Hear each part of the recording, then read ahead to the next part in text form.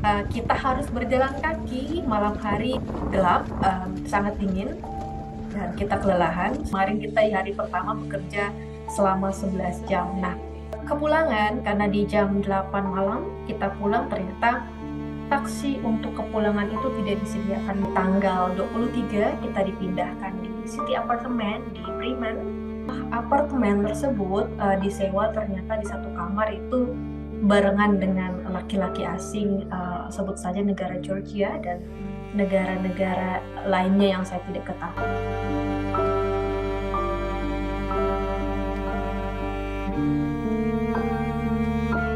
Salam DW2 Layar bersama saya Ayu Purwaningsi. Saat ini saya bersama Ramayana Monika. Yana bisa cerita nggak nih, kamu waktu itu dari Jambi bisa sampai ke Jerman lewat agen dan merasa ditipu tuh bagaimana ceritanya? Itu direkrut oleh kampus, kedua lewat CV Gen, mendaftar, dan ketiga itu disalurkan lagi ke SHP. SHP dan CV Gen ini adalah agen penyalur di Indonesia dan setelah itu kita ke Jerman dan Yana sendiri mendapatkan agen penyalur lagi di Jerman yang namanya Bridge United GmbH.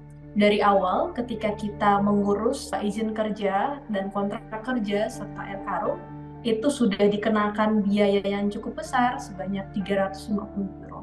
Kondisi dalam uh, saya menandatangani kontrak kerja tersebut adalah saya tidak mengetahui isinya karena berbahasa Jerman, kondisi eh, pekerjaan di ID logistik itu uh, cukup berat bagi saya karena memang harus menggunakan uh, kekuatan fisik secara utuh. Waktu itu kita naik turun tangga sebanyak tiga lantai untuk mengambil paket, uh, mengscan paket, lalu memasukkannya ke dalam troli. Waktu itu uh, volume paketnya itu di antara 0, 5 kg uh, sampai dengan uh, perkiraannya 30 kg. Tanggal 2 Desember pemutusan kontrak kerja secara sepihak. Lalu pada tanggal 6 Desember 2023 saya uh, ditelepon dengan teman-teman yang lain harus menandatangani kontrak pemutusan kerja via email. Pada tanggal 8 Desember 2023 saya kembali mendapatkan surat pemberitahuan bekerja. Kita bekerja waktu itu di bidang pertanian. Tapi secara keseluruhan pekerjaannya tidak terlalu berat, uh, tapi sedikit overtime. Kemarin kita di hari pertama bekerja selama 11 jam. Nah, kepulangan kita mendapatkan ini perlakuan yang tidak menyenangkan dari agensi. Saya bilang ini adalah penelantaran transportasi. Karena di jam 8 malam kita pulang ternyata taksi untuk kepulangan itu tidak disediakan BRIS. Stasiun terdekat itu jaraknya kalau berjalan kaki sejauh satu setengah jam dan untuk uh, halte bus terdekat itu uh, cukup 30 menit sebentar cuman sayangnya di jam uh, di jam 4 sore sudah tutup jadi tidak ada pelayanan lagi. Uh, kita harus berjalan kaki malam hari waktu itu uh, gelap karena penerangannya uh, sangat sedikit di jalan raya. Lalu hujan, Mbak, dingin juga. Hmm, di waktu itu mungkin perkiraan saya suhunya di 4 derajat. Gelap, um, sangat dingin dan kita kelelahan. Selain itu karena memang tanggal 18-nya kita berangkat dan sampai di tengah malam itu sekitar jam 12 atau jam 1 malam kalau tidak salah dan pagi-pagi harus uh, persiapan lagi ke tempat kerja. Jadi kita belum gajian kita masak aduh seadanya banget waktu itu.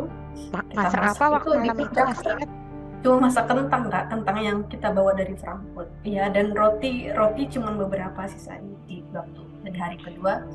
Tidak ada yang terlalu buruk sebenarnya. Kita pergi uh, disediakan taksi. Lalu bekerja waktu itu cuma uh, uh, saya anggap cuma 10 jam.